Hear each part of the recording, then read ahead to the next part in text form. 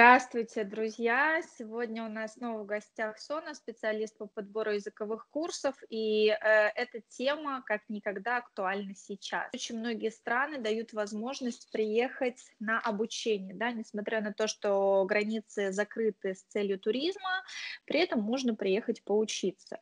А для тех, кто планирует, э, например, поступление в ВУЗ, там, высшее учебное заведение, на какие-то курсы профильные, да, то есть можно начать языковых курсов. Да, вообще свой миграционный путь всегда можно начинать с языковых курсов. Сегодня хотим обсудить тему это Англия и Мальта. Какие у них э, отличия вообще, в каких э, конкретно случаях ехать лучше в Англию, а в каких на Мальту. И там, и там английский язык, да, но тем не менее. Привет, Иксона, спасибо, что уделила время. Привет. Вам спасибо за приглашение.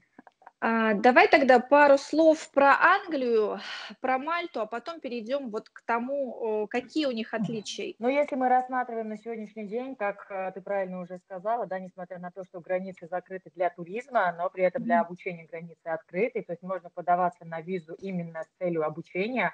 В Англии сейчас, в Англии практически во всех странах мира открыты визовые центры, в России, в Украине, вообще практически во всех странах СНГ, в том числе и в Европе, да, а из Европы mm-hmm. еще легче туда попасть. То есть самое главное это просто определиться, когда вы хотите уехать, если мы рассматриваем ближайшее время поездки, это то есть примерно, я так предполагаю, до весны в любом случае есть карантин, но при этом школы предлагают шикарнейшие вообще акции, да, там бесплатное проживание во время карантина, онлайн обучение бесплатное, то есть делают все, чтобы человек во время карантина этот период, ну, не тратил. Вот. Что касается по поводу Мальты, а, на Мальту сейчас, наверное, легче из Европы попасть, потому что, да, ну, если мы в ближайшее время рассмотрим, на Мальту, к сожалению, mm-hmm. нельзя из России, потому что, ну, закрыты а, границы, визовые центры закрыты, то есть, к сожалению, пока вот на Мальту не можем делать визу, это обычная шенгенская виза, mm-hmm. да, совершенно ничего такого сложного нет.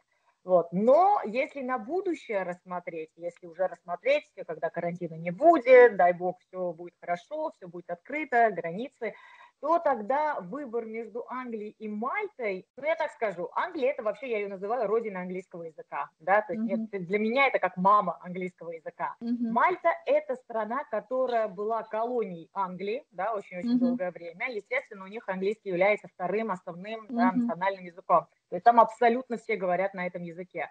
Просто есть люди, которые, допустим, вот если летом вы хотите совместить приятное с полезным, море, пляжи, хорошая погода, жара, тепло, ну и при этом как бы обучаться, да, улучшить свой английский язык. Это Мальта. Это находится рядом с Италией, от школы очень интересные, классные экскурсии в Италию, то есть буквально 30 минут на пароме и Сицилия, здравствуй. То есть как бы mm-hmm. можно совместить э, такое путешествие по Евросоюзу, да, будучи находясь на Мальте. Англия это с точки зрения, если человек именно едет конкретным, э, скажем так, направлением, что я хочу с целью именно обучаться, мне без разницы вообще море, пляжи, да, то есть мне важен британский акцент, я хочу именно британцев, это уже тогда да. То есть если человек такой прям вот хочет э, британский английский, это тогда, конечно, Англия, потому что на Мальте все-таки у них есть такой свой английский, да, такой немножко отличается от британского. Окей, ну вот. смотри, а, правильно ли я вообще понимаю, что Мальта это, наверное, такой более бюджетный вариант, и, наверное, uh-huh. может подойти для тех, да, кто хочет, скажем, на этом этапе изучения языка сэкономить, да, а потом уже двигаться дальше. Там, подой... uh-huh. а, скажи, вот подойдет ли Мальта, например, для тех, кто готовится там к IELTS или к TOEFL? Абсолютно правильно, Алена, это спасибо. Вот это самое, одно из самых важных да, моментов, которые я опустила. Да, это самый бюджетный вариант вариант. Мальта это, это, во-первых, евро, в отличие от Англии, потому что в Англии фунты, а фунты в любом mm-hmm. случае, да, по курсу выше. А по поводу TOEFL, TOEFL я всегда рекомендую исключительно подготовку в Америке, потому что это mm-hmm. американский экзамен, и вот правда, я всегда рекомендую подготовку там. Можно, конечно, можно. На Мальте есть подготовка и к экзамену IELTS, и к экзамену TOEFL.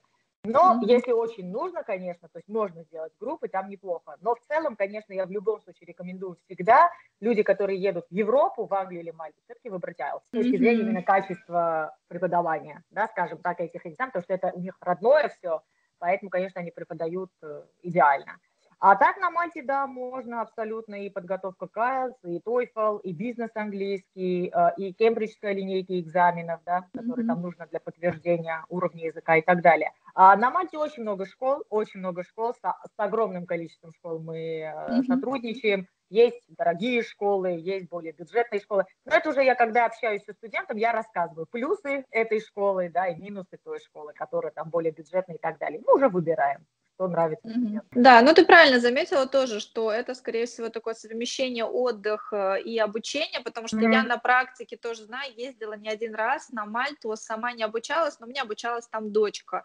И мы mm-hmm. именно хотели вот совместить отдых, пляж, как ты сказала, и обучение, да, чтобы, ну, не, не потратить, скажем, время зря даром, да, ты так валяешься на пляже, да, время уходит. Да. А здесь как бы и учишься, да, я думаю, что совершенно верно, но в любом случае, например, мне кажется, что люди, которые чет, э, четко уже там поставили свои цели, знают там какой-то конкретный вуз или там им для работы нужно, да, наверное, это нужно такие страны посерьезнее, да, выбирать Англия, mm. США, Ирландия, может быть, а Мальта действительно для таких новичков, кто хочет вообще впервые вот что-то такое попробовать для себя новенькое yeah.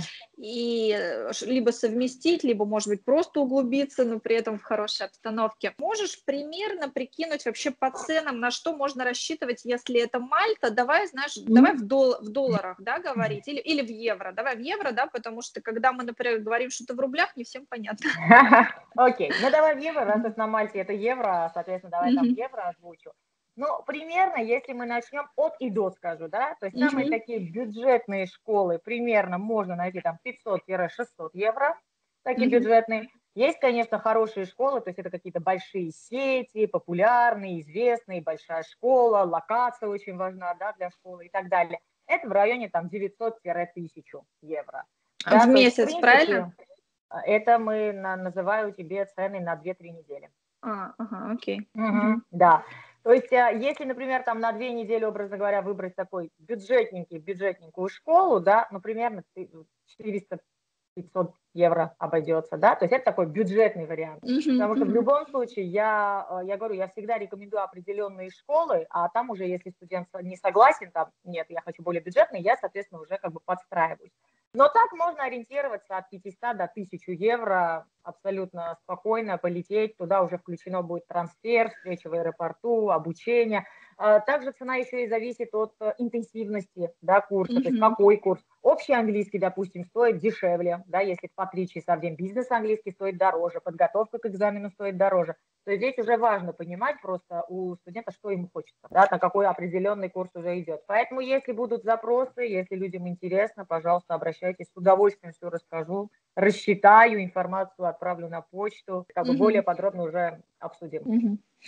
А, супер, да. Ну, я могу тебе сказать, что по ценам это, ну, вообще недорого ни разу, да, потому что в Европе, да, и если, например, взять ту же самую Голландию, да, там цены совершенно другие, несмотря на то, что а, английский там у них э, как бы идет как второстепенный язык, но тем не менее там тоже много языковых школ, но цены там совершенно другие, потому что я считаю, что действительно это бюджетный вариант. Окей, хорошо, давай тогда для сравнения по Англии, да, на, на что мы можем рассчитывать по Англии, если мы едем, ну, скажем, наверное, ну, месяца на два. Мне кажется, вот две-три недели это, ну, действительно отдых какой-то, да. Если мы едем учиться, наверное, mm-hmm. все-таки лучше от двух месяцев. Вообще, да, абсолютно. То есть, если цель есть именно улучшить свой английский, то есть, если ты едешь mm-hmm. не с целью просто, да, совместить там отпуск, да, скажем так, и просто две-три недели там поваляться на пляже, ну и плюс учиться, то есть, если человек едет реально уже с целью там улучшить свой английский или подготовиться к экзамену, абсолютно правильно, от двух месяцев, а желательно и больше, mm-hmm. да, то есть, если есть возможности на три, на четыре, а полгода это вообще в идеале просто поехать. Но если мы рассмотрим уже начиная от двух месяцев, допустим, если мы с вами берем там Англию, да, уже надо рассчитывать, ну, в районе двух, от, от 200 2500 евро примерно, да, уже, и опять-таки это вот от бюджетных к самым каким-то mm-hmm. известным, популярным каким-то школам, да. В Англии вариантов еще больше. То есть если на Мальте есть, допустим, там определенное количество школ, в Англии их просто немеренное количество, просто невероятное количество. Поэтому цены очень сильно разнятся в Англии.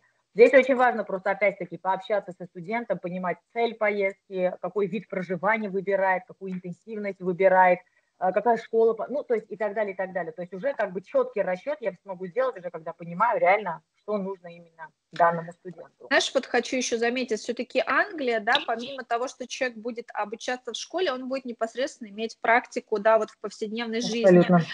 А, про Мальту я могу сказать, что это не совсем так, потому что uh-huh. там идет основной язык, это мальтийский, то есть они uh-huh. на английском все разговаривают, это тоже официальный язык, но тем не менее а, они начинают разговаривать на английском, там, скажем, в магазинах, в банках и так далее, когда ты с ними начинаешь по-английски, uh-huh. да, то есть Абсолютно если приходят мальтийцы, да, они начинают разговаривать на мальтийцем, и ты такой стоишь и слушаешь их мальтийский язык, да.